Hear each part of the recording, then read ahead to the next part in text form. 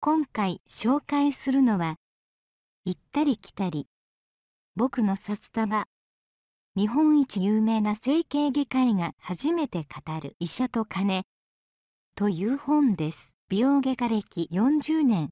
年間売上60億円という。高須クリニックのかっちゃんのお金の話とくれば。これは興味津々。バブル崩壊で背負った借金が100億円。しかもそれを10年で返済したというのだからこれまたびっくり。また2010年逝去した奥様への気持ち5人のお孫さんたちへの思いなど私生活にも触れかっちゃんの内面をも垣間見せている。そしてご存知パートナーの西原さんとの小銭やかにワインをめぐっての攻防は爆笑者ヘリコプターでポケモン GO なんていう豪快なお金の使い道やら美容外科現場のちょっとここには書けないぶっしゃけた内容などなど盛りだくさん。とにかく庶民には程遠いお金の話。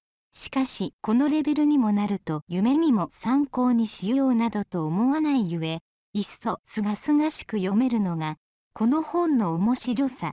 楽しさなのかも浮世のお金の話なのに一時浮世のうを忘れて読んでしまいました。以上興味のある方は実際の商品を Amazon などでご確認ください。今回は最後までお付き合いありがとうございました。よかったらチャンネル登録をお願いいたします。